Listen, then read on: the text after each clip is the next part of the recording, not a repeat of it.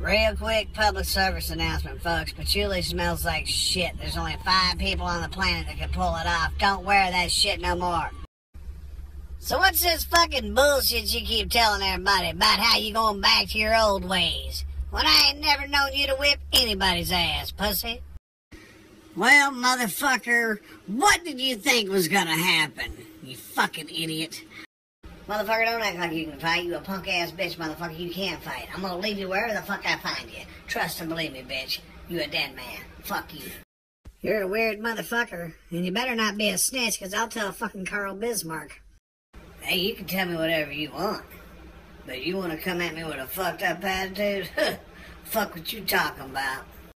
Fuck you. Fuck your daddy. Fuck your mama. Fuck your grandma. Fuck your sister. Fuck your stupid shit.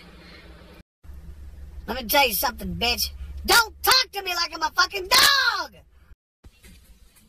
If you don't want to be called a liar, then don't be a fucking liar.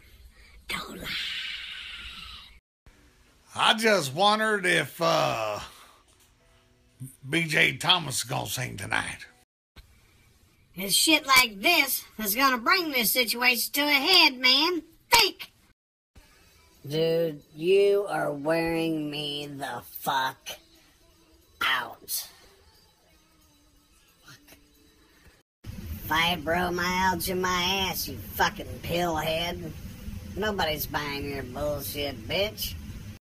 How about back the fuck up before I clap at your bitch ass? I have two phones. One for the plug, one for the load, you feel me? Two phones, one for the bitches, one for the dope.